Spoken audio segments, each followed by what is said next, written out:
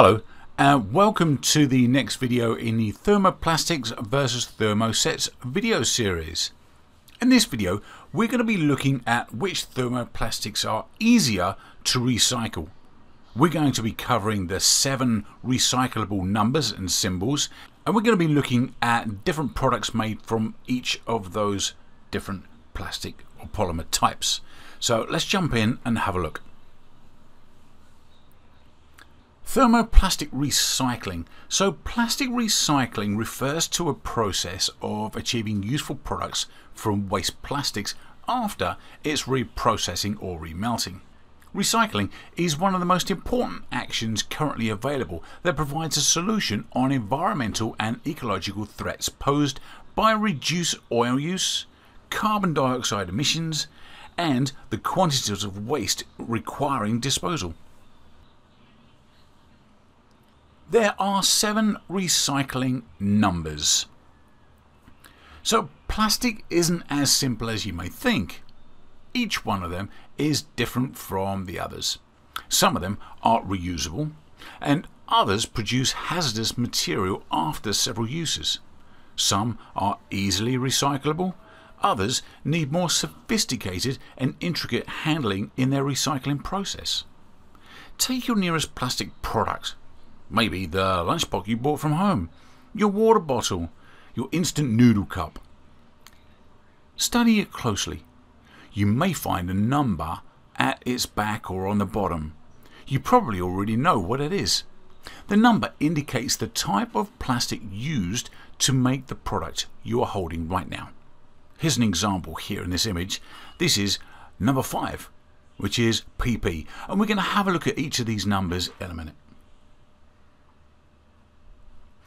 So here is a quick table with the descriptions of each of the polymers used or the plastics used and the recycling numbers associated with those. So you would see this recycling symbol on each of the products made from this material. I'm not going to go through each of these, but you can see we've got 1 through to 7, with, for example, 3 being PVC, and the 7, that's the capture all category. Let's go through these in somewhat of a detail. So, symbol number one, or recycling product number one, which is PET. So, PET plastic should be recycled but not reused. PET is one of the most commonly used plastics in consumer products and it is found in most water and pop bottles and some packaging.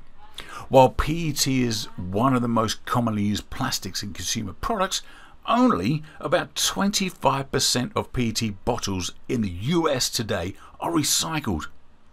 The plastic is crushed and then shredded into small flakes, which are then reprocessed to make new PET bottles or spun into polyester fiber.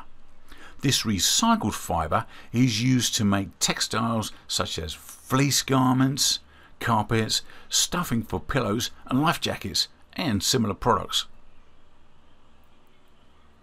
Recycling symbol number two, high density polyethylene or HDPE. Now, HDPE products are reusable and recyclable. HDPE plastic is the stiff plastic used to make milk jugs, detergent and oil bottles, toys, and some plastic bags. HDPE is the most commonly recycled plastic and it is considered one of the most safest forms of plastic. About 30 to 35% of HDPE plastics used in America gets recycled each year. It is a relatively simple and cost effective process to recycle HDPE plastic for secondary use. Let's have a look at recycling number three, which is PVC. PVC is dubbed the poison plastic because it contains numerous toxins which it can leach throughout its entire life cycle. Almost all products using PVC require virgin material for their construction. Less than 1% of PVC material is recycled. Products made from PVC plastic are not recyclable. While some PVC products can be repurposed, PVC products should not be reused for applications with food or for children's use. Low density polyethylene. This is number four on the recycling symbol. So LDPE plastics are reusable but not always recyclable. You need to check with your local collection service to see if they accept low density polyethylene plastic items for recycling. When recycled, LDPE plastic is used for plastic lumber, landscape boards, garbage can liners, and floor tiles. Products made from symbol number 5 polypropylene or PP. Now, PP is recyclable through some curbside recycling programs, but only about 3% of polypropylene products are currently being recycled in the US. Recycled polypropylene is used to make landscape border stripping, battery cases, brooms, bins, and trays. And you can see the products here, which is a typical drinking bottle products made from polystyrene, which is number six on the recycling symbol. Now, polystyrene can be recycled, but it is not widely available. Most curbside collection services will not accept polystyrene, which is why this material accounts for about 35% of US landfill material. While the technology for recycling polystyrene is available, the market for recycling is small. Awareness among consumers has grown, however, and polystyrene is being reused more often. Polystyrene should be avoided where possible because chemicals present in the polystyrene have been linked with human health and reproduction system dysfunction.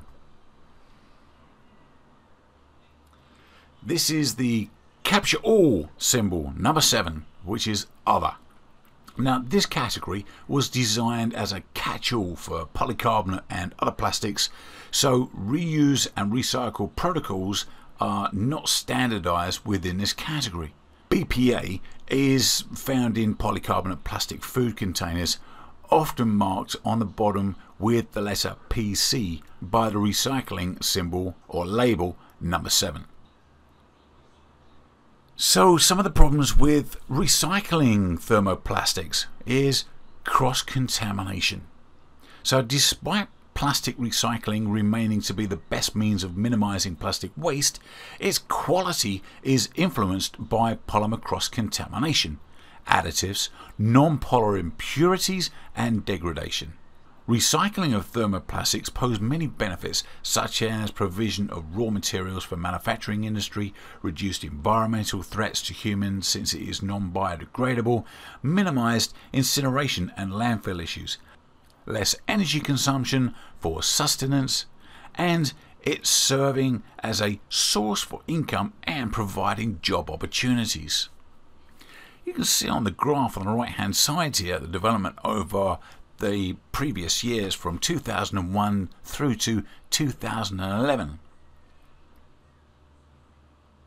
Let's have a look at the economic factors. Economic factors that influence the viability of thermoplastic recycling include the price, cost of recycling compared with forms of required disposal, suitability for specific applications, lack of information about the availability of recycled plastics, and quantity and quality of supply recycled thermoplastics compared with virgin thermoplastics. Let's have a look at more plastic recycling facts. So it takes up to 500 years to decompose plastic items in landfills. 1,000 to 2,000 gallons of gasoline can be saved by recycling just one ton of plastics. Producing plastic products from recycled plastics reduces energy requirements by 66%. And over 1,600 business organizations in the US are involved in recycling post consumer plastic items. Here is a quick chart or a flowchart of the thermoplastic recycling process. So we start on the left hand side here where we're looking at the business or home consumption. This is then picked up or you drop it off at a recycling process transportation plant. It's then moved to a plastic storage and a plastic factory warehouse somewhere. It is then sorted into the relevant numbers that we just looked at. Back over on the left hand side here again, it's cut or shredded or chopped. It's then washed with soap and water so it's clean. It's then packed. It's then transformed into pellets. These pellets then create new plastic products which are sold as recyclable or recycled products. So this system and this recycling cycle works. We just need to be more aware of using recycled material where possible. Don't forget to check out our other videos in this series and you can contact us if you need any help with your projects at all in China. For more specialist information, visit our Learning Centre page. Here, for example, you can see products that Sofeast are experts in. Thanks for listening. My name is Paul Adams from Sofeast, and I shall see you in the next video where we're going to be looking at recycling of thermoset plastics.